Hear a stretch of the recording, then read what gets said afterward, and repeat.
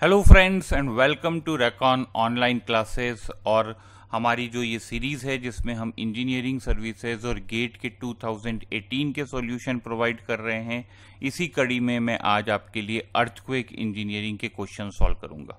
तीन क्वेश्चन हैं, और सबसे अच्छी बात level one level two level three तीनों ही आपको यहाँ पे देखने को मिलेंगे। दोस्तों इट इज़ वेरी इंपॉर्टेंट कि आप लेवल को आइडेंटिफाई करें। रेकॉन अपने ऑनलाइन वीडियोस के थ्रू आपको ये पूरी तरह से समझाने की कोशिश करता है कि लेवल को आइडेंटिफाई करना एग्ज़ाम में सबसे इंपॉर्टेंट होता है। So that you should know your strength and weakness and solve the question accordingly अगर आपको रेकॉन के प्रोग्राम के बारे में पूरा जानना है, हमारी वेबसाइट विज़िट करें आर सी डॉट इन और अगर आपको कोई क्वेरी है कि किस तरीके से हम लोग आपको घर बैठे वीडियो प्रोवाइड करेंगे, जो आप घर बैठे तैयारी कर सकते हैं then you can call us on the given WhatsApp number below तो नीचे दिए गए व्हाट्सएप नंबर पे भी आप अपनी क्वेरी भेज सकते हैं। इसके अलावा दोस्तों, आज के वीडियो में मैं उन स्टूडेंट्स के भी नाम बताऊँगा जिन्होंने पिछले वीडियो के क्वेश्चन के सही आंसर दिया था।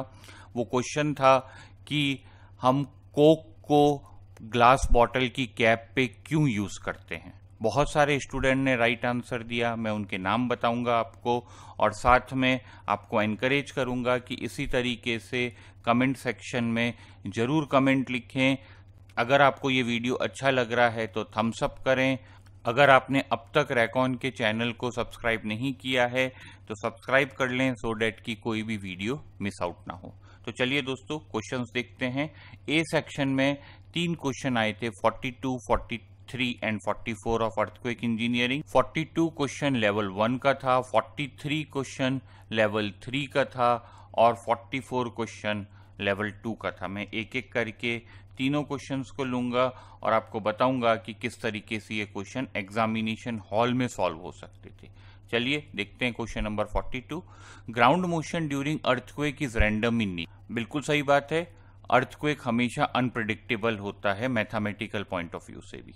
For the purpose of analysis it can be converted into different harmonic excitation through तो देखिए, हम जो अनप्रिडिक्टेबल अर्थक्वेक का आता है, उसको मैथमेटिकली किस तरीके से कन्वर्ट कर सकते हैं, इसके बारे में बात की जा रही है। और हम बेसिक जब शुरू करते हैं दोस्तों, तभी ये पढ़ लेते हैं कि फूरियर सीरीज़ एक ऐसी सीरीज़ है जो किसी भी फ़ंक्शन को साइन और कॉस में कन्वर्ट कर देती है। तो the answer is straight away a Fourier series और कुछ सोचने की ज़रूरत ही नहीं है Newton second law of motion नहीं हो सकता। डोमेल इंटीग्रल बिल्कुल ही नहीं हो सकता, टाइम सीरीज़ एनालिसिस भी नहीं हो सकता। So what is the answer Fourier series आपको basic of Fourier series first day पढ़ा दिया जाता है कि फूरियर सीरीज़ वो सीरीज़ है जो किसी भी फ़ंक्शन को साइन और कॉस में कन्वर्ट कर दे। तो आंसर इज़ ए चलिए, अब मैं पहले लेवल टू का क्वेश्चन ले लेता हूँ, which is, a steel building has plan dimension of 50 by 50 meter and it is 120 meter tall it is provided with brick infill. This is very important line brick infill panels. The approximate fundamental time period of the building is. तो दोस्तों इसमें आपके पास तीन फॉर्मूले हैं पहला है T A is equal to point zero seven five H raise to power point seven five दूसरा है T A is equal to point zero eight five H raise to power point seven five और तीसरा है T A is equal to point zero nine H divided by root of D अगर आप देखें तो ये दोनों फॉर्मूले जो हैं, एक आरसी फ्रेम का है और दूसरा स्टील का है। लेकिन ब्रिक इन पैनल का फॉर्मूला है point zero nine H divided by root of D तो देखिए, आपको क्या करना था दोस्तों? पॉइंट ज़ीरो नाइन हाइट आपको वन ट्वेंटी मीटर दे रखी है divided by root of fifty this is the calculation which is required to solve this question ज़रूरत नहीं है एग्जैक्ट कैलकुलेशन करने अगर आप ऑप्शन पे ध्यान दें तो देखेंगे ऑप्शन काफ़ी दूर हैं तो आप अप्रोक्सीमेट कैलकुलेशन भी कर सकते हैं। मैं रूट फिफ्टी को सेवन लिख सकता हूँ तो seven into point zero nine multiply by one twenty तो इफ़ यू सी फ्रेंड्स तो 120 twenty multiply by point zero nine divided by seven will be approximately near to 1.53 exact calculation भी आप कर सकते हैं, लेकिन एग्जैक्ट की ज़रूरत नहीं थी। आंसर काफ़ी दूर दे रखे हैं और कोई ऑप्शन हो ही नहीं सकता था। ए इज़ द आंसर तो 44 क्वेश्चन लेवल टू मैंने इसलिए दिया क्योंकि थोड़ा सा टाइम टेकिंग था, आपको इत्मीनान से क्वेश्चन पढ़ना चाहिए था। स्टील बिल्डिंग देख के ये वाला फार्मूला नहीं लगाना था।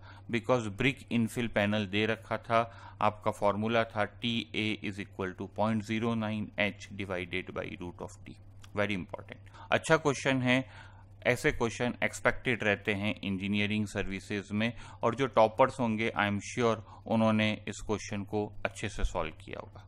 बिफोर स्टार्टिंग क्वेश्चन नंबर 43 मैं उन स्टूडेंट्स के नाम बता दूँ जिन्होंने प्रीवियस वीडियो में पूछा गया था क्वेश्चन कि कि कोक को ग्लास बॉटल पे क्यों लगाया जाता है एज ए कैप इसमें सबसे सही और मोस्ट एक्यूरेट आंसर दिया सुजीत पांडे ने।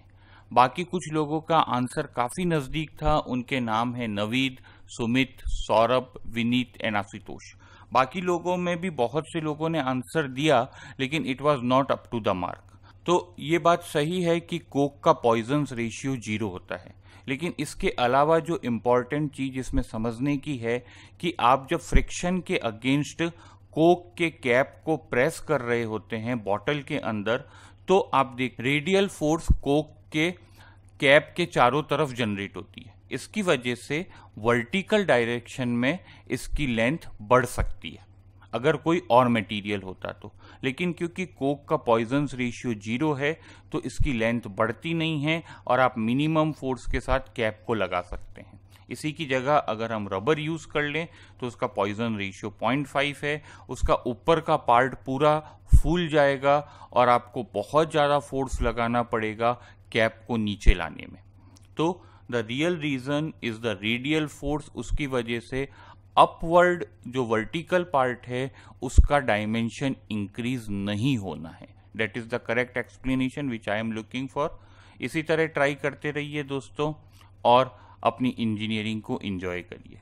चलिए अब देखते हैं question number 43 A RCC structure with fundamental time period of 1.2 second vibrate at a forcing frequency of 10 radian per second. The maximum dynamic displacement is x percent of static displacement.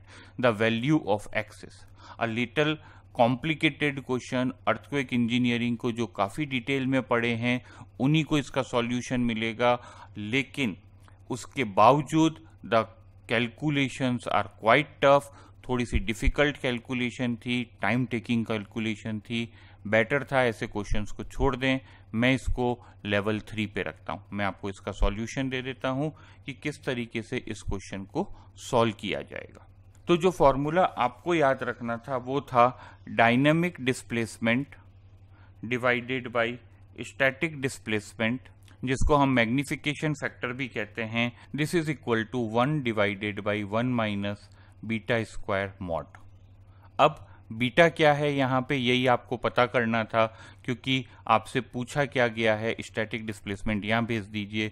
तो dynamic displacement static displacement का कितना part है? यानी कि आपको ये चीज़ calculate करनी है और आपको बीटा पता करना था। बीटा का फॉर्मूला होता है omega divided by omega n now omega आपको दे रखा है टेन रेडियन ओमेगा एन के लिए दोस्तों आपको टाइम दे रखा है 1.2 सेकेंड। तो अब आप ओमेगा एन निकाल लीजिए। ओमेगा एन क्योंकि आपको टाइम पीरियड दे रखा है तो आपका ओमेगा एन हो जाएगा 2 pi divided by T n. T n आपको 1.2 सेकेंड दे रखा है, सो 2 पाई डिवाइडेड बाई 1.2 तो अगर आप देखें तो बीटा हो गया दोस्तों 10 divided by 2 pi into one इस वैल्यू को यहाँ पुट कर दीजिए। One divided by one minus ten over two pi into one point two square. का मॉड एक लिटल टफ कैलकुलेशन जो आपको करनी थी। अगर आप इसको कर लेते हैं you will get this value as point three seven seven यानी कि thirty seven point seven percent of static displacement a very lengthy question first of all क्योंकि कैलकुलेशन काफ़ी ज़्यादा थी and at the same time काफ़ी detail solution था। तो I advise कि ऐसे क्वेश्चन आप एग्ज़ाम में छोड़ दें। Do not try to attempt those question which are time taking क्योंकि दोस्तों, ये क्वेश्चन भी टू मार्क्स का है एंड ये क्वेश्चन भी टू मार्क्स का है। तो अगर आपको ये क्वेश्चन करने से भी टू मार्क्स मिल रहे हैं, इस क्वेश्चन को भी करने से टू मार्क्स मिल रहे हैं तो बेटर है पहले इस क्वेश्चन को करिए, फिर इस क्वेश्चन में आइए। होता है तो बहुत अच्छी बात है, वरना छोड़ दीजिए बिकॉज़ 320 से ज़्यादा किसी टॉपर के मार्क्स होंगे नहीं इंजीनियरिंग सर्विसेज़ के पेपर वन और पेपर टू मिला के। With that friends thank you very much इसी तरह रेकॉन के वीडियोस देखिए और अपनी इंजीनियरिंग को इन्जॉय करिए।